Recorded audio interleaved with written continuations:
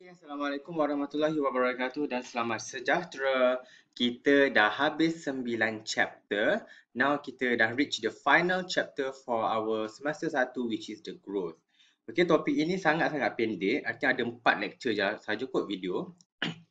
And then walaupun begitu eh, disebabkan lecture ini sangat pendek dan topik ini sangat pendek, jadi dia adalah yang paling kurang ditanya dalam peperiksaan. Tetapi dia keluar cuma pemberatan markah dia adalah 3 markah daripada 80 uh, markah.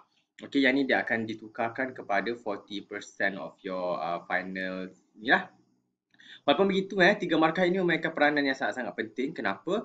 Because uh, walaupun dia tiga markah, tetapi kadang-kadang tiga markah inilah yang menentukan awak dapat A ke, dapat A minus ke, dapat B plus ke. Okay, so it's very very important. So jangan uh, abaikan topik ini just because markah dia paling kurang. Lagipun uh, dia senang je, memang konsep dia sangat-sangat senang that kalau I explain ni, you memang boleh faham terus lah. Okay. So by the end of this session, you should be able to uh, define growth and this is the things that you have to know. And cukup eh, um, cukup whatever I told you in my lecture, cukup untuk awak jawab PSPM. So you don't have to go beyond that lah. Tetapi uh, dekat hujung slide ni, lepas saja slide, thank you ada extra slides yang you boleh baca. Tetapi itu dah out of syllabus but uh, you merit kalau kod lah dia tanya ke kan. Tetapi itu memang not uh, the primary punya uh, syllabus lah. This one saja dia punya syllabus. Okay. Right. What is growth? Growth itu adalah kalau kita tengok Abang Shono ni, dia cakap adalah growth is a permanent and irreversible. Itulah the keyword dia. Permanent and irreversible. Increase in biomass, length and width. Okay, dalam uh, increase in berat, ketinggian, uh, kepanjangan dan kelebaran over a specific time. Paling mudahlah daripada awak kecil. Daripada awak baby tu, then awak jadi budak and then awak jadi remaja awak boleh nampak adanya uh, perubahan berat okey awak semakin berat and then adanya perubahan length tinggi eh? Contohnya height lah. Okey awak semakin tinggi and then adanya kelebaran. Daripada dulu kecil awak tu boleh dipeluk enam awak nak peluk pun susah. So adanya kelebaran awak dapat tambah lagi kalau awak obese lah kan? Over a specific time. And yang paling penting adalah permanent and irreversible awak tak boleh pula daripada kecil daripada budak tu tiba-tiba awak jadi bayi balik. Tidak eh? Awak bukan kita tak boleh. Memang itu adalah bukan uh, def the definition for the growth. So ini adalah the definition for the growth, which is the permanent irreversible increase in biomass and length and width over specific time. Okay. so untuk fasa untuk fasa grow ni, yang ni memang tak ada dalam syllabus tapi saya nak explain je lah supaya awak tahu, which is there are three phases of individual growth. The first one adanya cell division, okay, cell itu divide from one cell to another cell, and then adanya cell, cell enlargement, cell itu semakin membesar daripada mana ke pen saya ni. Jadi akan semakin membesar. And then the second one adalah adanya cell differentiation. Last one tu adanya cell differentiation. Differentiation itu adalah from one cell, dia akan differentiate, dia akan membezakan kepada different cell. Yang ni kita dah explain dalam lecture 2 lah, tapi kita akan go through uh, secara laju saja. Okay, kalau kita tengok for the next slide, alright, cell division tu adalah adanya increases in the number of the cell by mitosis and important for the growth in multicellular organism. Macam ni yang boleh nampak you increase in mass and size and length and everything disebabkan adanya cell division. Kemudian kita pula ada cell enlargement daripada awak kalau awak tengok gambar ini, adanya cell to the increases in size, volume and the mass. Daripada sebesar ini, now dia besar sikit, now dia jadi sangat-sangat besar. And this is very very important for the growth of the plant lah. Daripada pokok yang kecil tu, now dia nak membesar kepada pokok yang lebih besar. Dia memerlukan adanya cell enlarge, cell enlargement. As you can see, ada banyak vacuole itu memainkan peranan yang penting dalam in pushing the cytoplasm um, in pushing the cytoplasm hence akan promote this growth of the plant lah. Bila the vacuole tu membesar dia akan break the let's say dia akan break the cell wall around here and then adanya repair that it causes the growth okay? That allow the cell to be enlarged lah. Due to the assimilation of food materials and cellular metabolism. And kalau kita tengok dalam chapter 2 yang saya dah ajar uh, in the uh, lecture 2 dan chapter 2 adanya cell differentiation ataupun yang dipanggil specialization. Daripada satu cell dia akan become another different type of cell yang paling penting untuk cell differentiation ini dia basically melibatkan what we call unspecialized cell yang dipanggil stem cells. Okay dia undergo differentiation from one cell to another different cell. Bila dia from one cell dia become another cell dia akan carry out different functions. So dia akan lead to the changes in the cell structures and a different specialized cell or tissue that produce different function. Dan kalau kita tengok gambar raja yang paling mudah adalah, let's say ini adalah this one we have this hematopoietic stem cell ataupun uh, stem cell yang menjadi kepada the uh, Dia adalah nenek moyang kepada sel-sel darah awak. Dia adalah satu stem cell yang berada di dalam bone marrow, dalam awak punya sum-sum tulang. You tak perlu tahu all this cell, cuma konsep dia awak kena faham lah. Yang mana kalau kita tengok kita ada this hematopoietic stem cell, kemudian dia akan divide and then dia akan differentiate. Bila dia differentiate, dia akan become the different type of cell. Contohnya kita ada uh, this hematopoietic stem cell, dia divide-divide, dia akan become the first one common lymphoid progenitor. Then this common lymphoid progenitor dia akan divide lagi, dia akan become different cell, pre-T cell.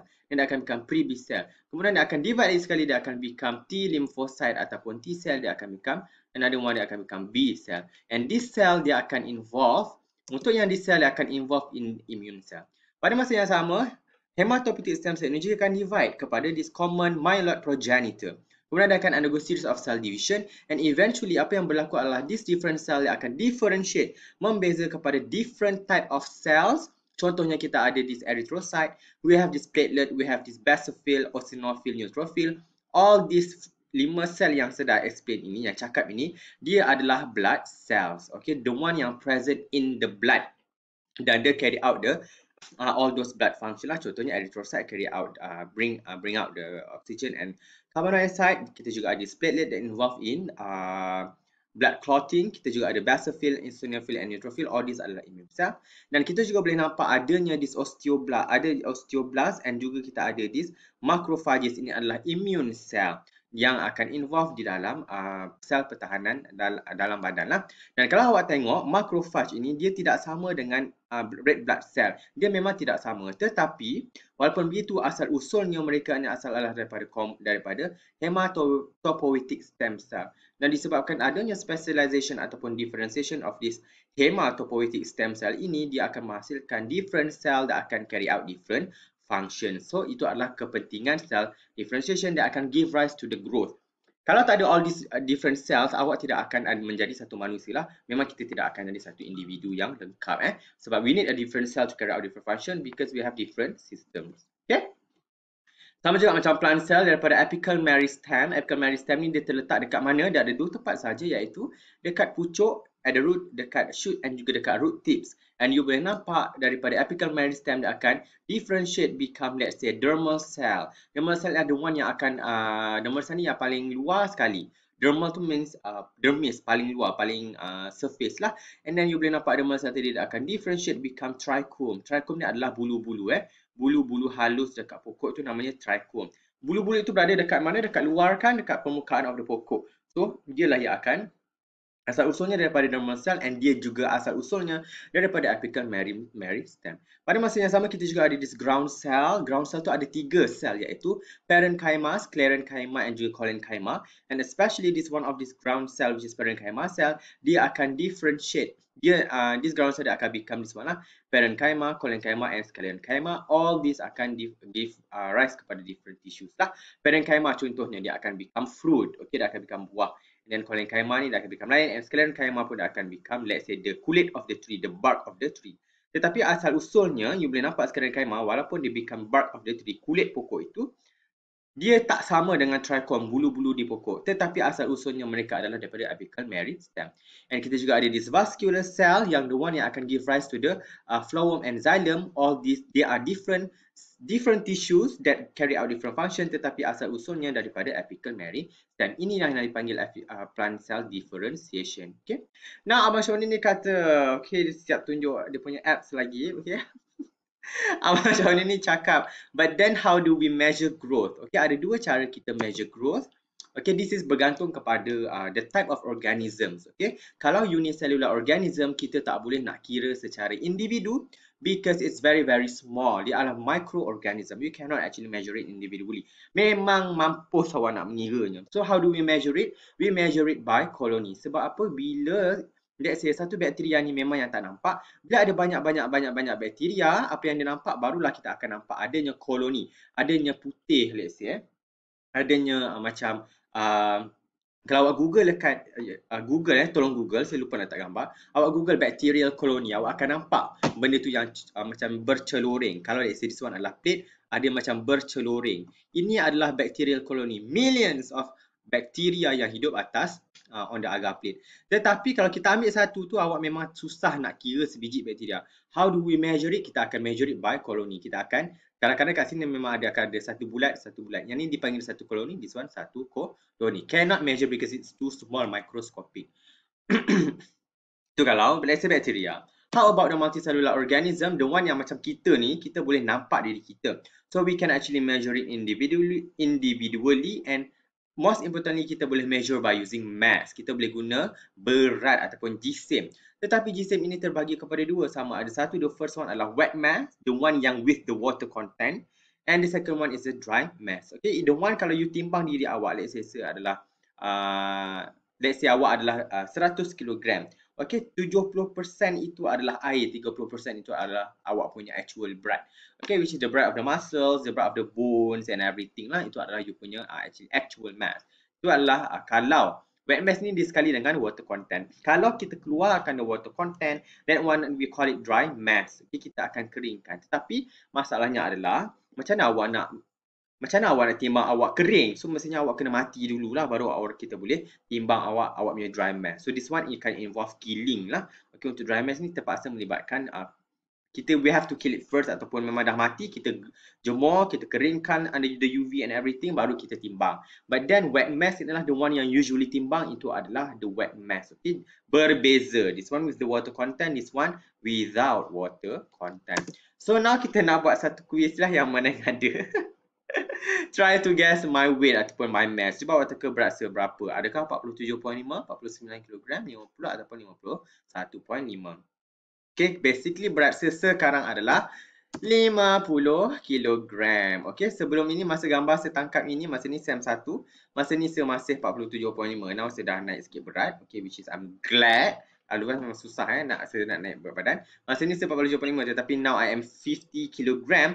But then again, this one, adakah ini dry mass? Is it my dry mass? No, this is actually my wet mass. Ini adalah saya punya wet mass di mana it involve my water content. You can see me glowing kan. You boleh nampak muka I glowing. You boleh nampak I still moving kan. Maksudnya I still have the water in me and I still survive. So dia adalah wet mass. Kalau dry mass, air mati, air dijemurkan, air jadi uh, sotong kering. So baru you timbang, uh, barulah dapat my actual mass. Which is I think around 20 kg. Okay, less than 20 kg is my actual mass lah but this one adalah dry mass so again wet mass dia akan measure the mass with its water content. Kalau you ambil this tomel ya apa benda ni saya tak tahu apa khabar ke apa. Our hamster ni you timbang let's say you boleh nampak 11 113 gram. So you boleh nampak 138 gram ni adalah berat dia dengan dia punya air. But then again kalau you keringkan dia hanya around 25% 20% saja the actual mass lah. Disadvantages dia tidak tepat because dia melibatkan water content dan this is inaccurate measurement sebab apa? Due to the water content in the organism may vary. Kalau you ambil another hamster, you timbang, berat dia bukannya 11, uh, 113.8 gram. Tidak. Dia akan lain sikit. Sebab kenapa? Because dalam individu itu, water content itu adalah berbeza antara satu individu. So it's very, it's rather inaccurate. But the advantages adalah the organism is not killed and we can actually measure it repeatedly lah. So this uh, hamster ni kita tak perlu pun nak siap dia nak nak apa ni nak uh, potong balik dia tak perlu kita tak bunuh dia kita hanya timbang dia terus means advantages dan kita boleh lakukan dia let's say awak nak timbang dia pada hari ni you nak timbang berat dia minggu depan boleh okay sebab dia it still survive okay macam saya lah setiap minggu saya pergi fisioterapi setiap itulah saya akan pergi timbang okay last week 50 this week 51 ha, macam tu so I can actually measure it repeatedly Okay, itu adalah wet mass. How about dry mass? Dry mass ni terbalik. Okay, dia akan measure the mass without its water content tetapi it involve killing lah. So itu adalah dia punya disadvantages. Organism is killed. And actually it's rather unethical especially for animals. Sebab kita tak boleh nak sesaja nak timbang kita bunuh dia. Tak boleh. It's very unethical. Tetapi it's very very useful in plants lah. Contohnya kita ada this uh, ini bukan ganja eh macam tapi dia macam weed kan. So you ambil this weed you keringkan you timbang. Itu adalah dia punya actual mass. Itu adalah very very accurate measurement And advantages dia, dia sangat accurate because kita remove its water content. So kita dapat dia punya uh, materials punya weight bukan water. So it's very advantageous lah. Okay dan uh, disadvantages dia adalah another one is memang disebabkan kita timbang ni kita perlukan banyak sebab kita nak minimize the error. We need a lot of individuals from the population with a similar age and size. Baru kita actually, uh, actually baru kita boleh uh, tentukan sama adakah ia betul-betul dia punya dry mass. So dia dia memerlukan banyak individu lah. Tetapi yang paling penting dia tidak dibunuh, uh, dia perlu dibunuh dan advantages dia dia adalah uh, accurate. Okay? Specifically in plants saja, right?